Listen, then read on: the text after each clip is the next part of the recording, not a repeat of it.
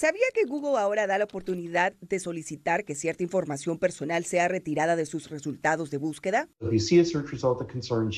Si ve un resultado de búsqueda que tiene información personal, le preocupa y lo quiere retirar, puede hacer clic en los tres puntos al lado del buscador y comenzar el proceso para eliminarlo.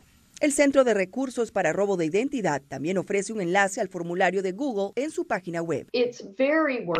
Realmente vale la pena y queremos que el consumidor tome ventaja de estas herramientas y alentamos a las compañías a que ofrezcan más servicios como este.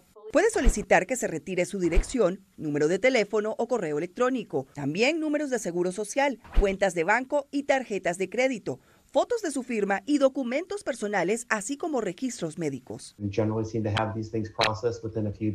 Usualmente se procesa en unos días o una semana. La gente parece estar contenta con el servicio. Retirar esta información podría ayudarlo a protegerse del robo de identidad. Según el Centro de Recursos para el Robo de Identidad, en el 2021 hubo 1.862 eventos de filtraciones de data, un récord y un aumento del 68% comparado con el año anterior. Hubo 293.9 millones de víctimas en el 2021, que sin embargo representa un descenso del 5%. Identity crimes are um, very real.